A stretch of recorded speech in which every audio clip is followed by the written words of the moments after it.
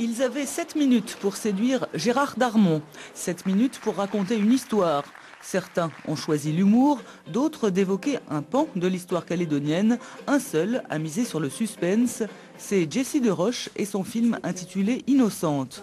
Trois filles partent en camping, le cauchemar n'est pas loin.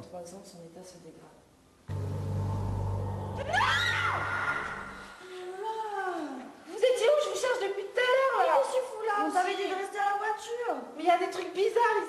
Bien écrit et bien joué, Innocente figurera peut-être au palmarès. Quand il y a des amoureux du, cinéma, il faut, il faut les, encourager. Pas à tout prix, mais il faut les encourager, en tout cas pour certains.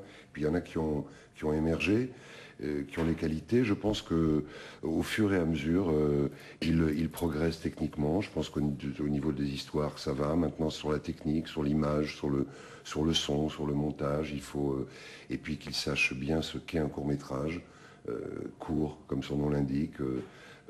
donc voilà, c'est un, exercice un peu, un peu particulier. c'est pas un exercice très, simple. Et je trouve que deux ou trois d'entre eux s'en sont, sont, très bien tirés, vraiment. Hier soir, c'était la clôture officielle de la 9e édition avec l'émergence de deux réalisateurs calédoniens. D'un côté, Jessie de Roche, de l'autre, Olivier Grèce, qui a notamment remporté le prix du meilleur court-métrage. Isabelle Braoué, José Solia. Autre lauréat, Jessie de Roche. Son court-métrage Innocente obtient le prix spécial du jury et le prix RFO du public. Des réalisateurs heureux, un Gérard Darmon ému, un petit hommage lui a été rendu en prime. Il repart avec un nautile flatteur.